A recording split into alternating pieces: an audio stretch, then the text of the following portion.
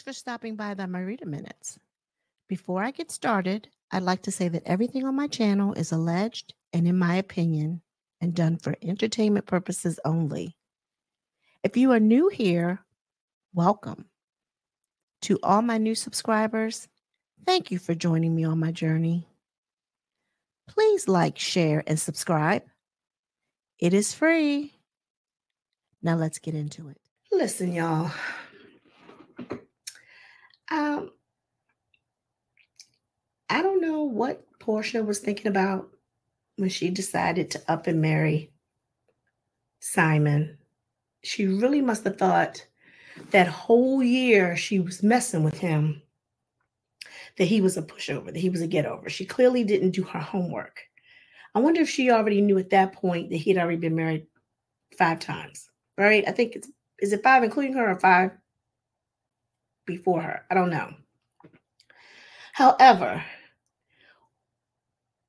you can't tell me that she didn't go into this marriage without thinking of an exit strategy. I don't care what no one says.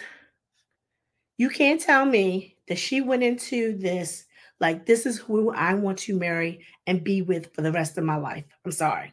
Now, I'm not saying that she didn't enjoy hanging out with him and being wined and dined because prior to um them coming out saying that they had fell in love within 30 days, we all know now that according to Falynn, that she and Simon had been messing around for approximately about a whole year prior to her even finding out. And evidently he was messing with other people too, but she knew that Porsha was one of the ones that he was dealing with. Now, I don't know what Porsha was thinking, but I guess you know, you, when you are out on the outside looking in, right? You really don't know what people are dealing with on a day-to-day basis. So, I guess from Porsha's view, Falynn was living her life. She had a rich man. Her children were taken care of. And she had, didn't have to want for nothing. She was walking around like a socialite. And Porsha was in love with the lifestyle. Not Simon, but the lifestyle. When she saw a pathway of getting to that, I'll put it in in housewife terms, when she saw a pathway to the first chair, meaning to oust Falynn, when things started to break down with Falynn, Falynn, I guess, I don't know. Simon knew that she was dealing with the help or whatever. I don't know. When she saw that that was on the on the verge of being whatever, Porsha zoomed right in. Porsha, you mean to tell me Porsha knew that he was seeing other people? She knew that, or she, she really didn't care. She wanted the lifestyle. Okay, so let's say Falynn's gone. They get together. They start hanging out a little bit more than normal. He starts whisking her away to Costa Rica or whatever, that little place that he always wound up at. And now she's in the first chair. Simon is looking at her as a money grab, and she's looking at Simon, I feel like, as a money grab. Porsha had all these jobs. I mean, she was doing it for herself. She was living in her own house. She had her own million dollar house for her and PJ and her mom. She was on Dish Nation. She did Amazon stuff. She was selling sheets and hair. I think she still has her hair stuff, go naked hair. And then, she, of course, she was on Atlanta Housewives. So his thing was, she ain't no slouch, which she wasn't. So what would be the harm, right, in marrying this girl? She ain't gonna want for nothing. However, Simon clearly ain't no fool, right? He's been married four or five times prior to Porsha. Whether he saw this coming or not, he was prepared trust and believe. However, the tables turned because I don't think Porsha saw what was coming with Simon, where Simon was easygoing, laid back, thought she he was gonna let her run over him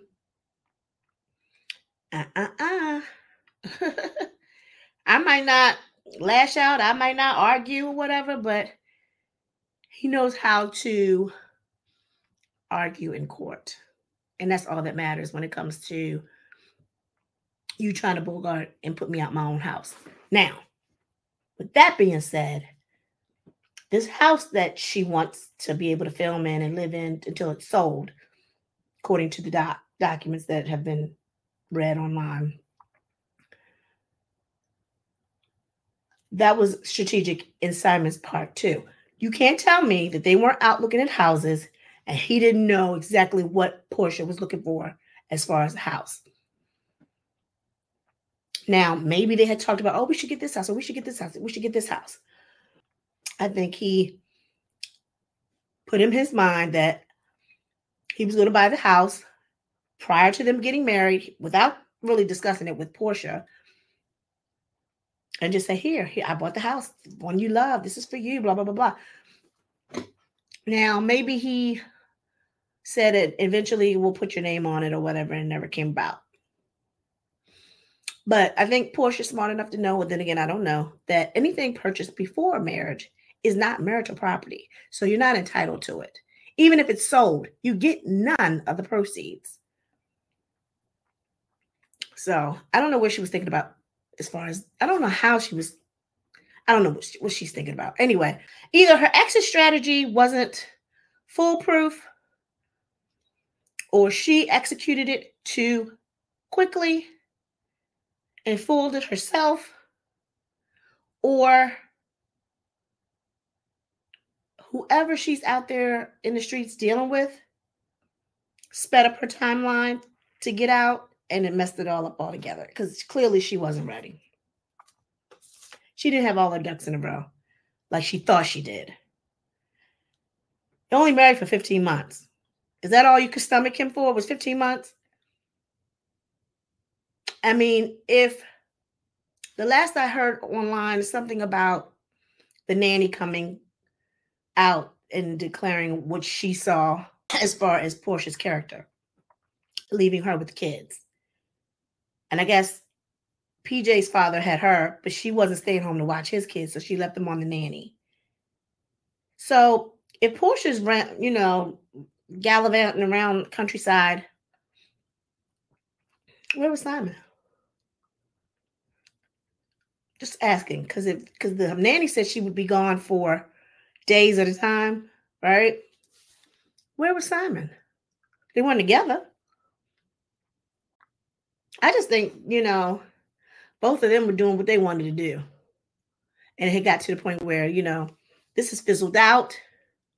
I'm gonna get what I can get out of the out of the deal and move on. However, Porsha was not ready for Simon. Now, this is the man that said he had a moving company on speed dial in his phone. Trust and believe. He might not have thought it was going to happen in 15 months, but he was prepared for when it did happen. I don't know, Porsha. It don't look good for you, girl. It don't look good at all. Now you got the nanny coming out saying stuff about your character. He is a character witness. I don't know what you think you're going to get. You was only married for 15 months. I don't know what uh, uh, Georgia law is as regards divorce, but 15 months can't be enough for him to say that you was accustomed to a lifestyle because you, you stopped working on purpose. So that if you did leave, he had to maintain your lifestyle. I don't know if 15 months is enough, but we'll see. Good luck with that, girl. Well, that's all I have, everyone. And I tried to do it in my read a minute. Please like, share, subscribe, and leave a comment down below. Everyone be blessed. Peace.